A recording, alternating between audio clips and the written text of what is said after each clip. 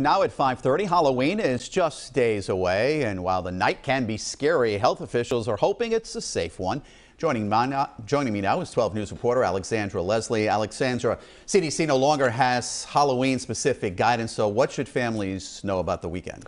Well, Mike, the CDC and our local health officials say the number one way to minimize COVID-19 risk and keep your family and friends safe is to get vaccinated if you're eligible.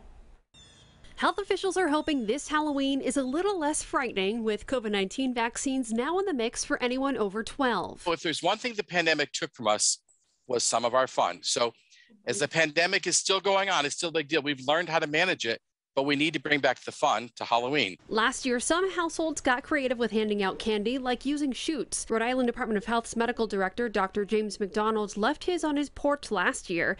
This year, he says he's opting for a more traditional way. Which is kids are going to come to my front door, and my son or myself will actually just hand out the candy. Some cities like Warwick don't regulate Halloween or the trick or treating that goes along with it. Mayor Frank Picozzi says how families celebrate is up to them. We just tell people do whatever makes you comfortable. We've told them that because of COVID too. Um, I, I, expect a lot of kids to be out trick or treating. Um, and as far as giving candy out or how you give it out, uh, that's up to the individual.